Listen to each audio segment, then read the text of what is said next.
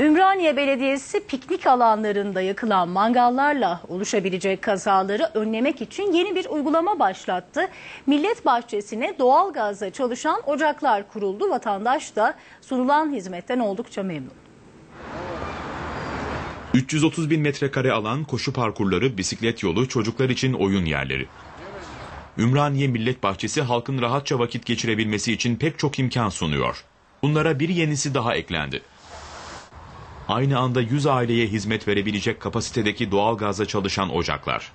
Orman yangınlarının önüne geçmek için Ümraniye Belediyesi harika bir çözüm buldu.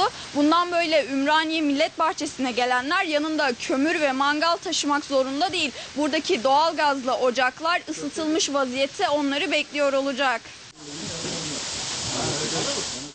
Mis gibi hiç yani toz, toprak olmadan her şeyimizi gelip mangalımızı burada yapıp güzelce afiyetle yiyeceğiz Allah izin verirse. Daha önceden kömürünüzü alıyordunuz, e, telaşıyla ayrı bir şekilde uğraşıyordunuz. Şimdi geliyorsunuz, e, burada mangalınız hazır bir şekilde ve kimseyi rahatsız etmeden güzelce etinizi yapıyorsunuz. Kömürümüzü getiriyorduk, mangalımızı, ızgaramızı, elimizde bir sürü poşetler oluyordu. En azından poşet sayısı bile azalmış oldu.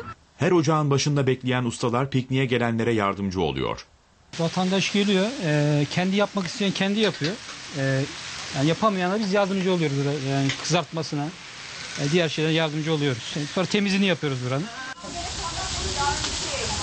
Önceden bir e, endişe oluyordu bizlerde. Çocuk mangala dokunur, mangal kömürüne eller, e, elleri kara olur, yine mangalı devirebilir vesaire diye çok endişeleniyorduk. Ayrıca kurulan doğalgazlı ızgaraların yanında lavabo ve çaylar için kaynar su da mevcut. Üniversite hayaline kavuşan binler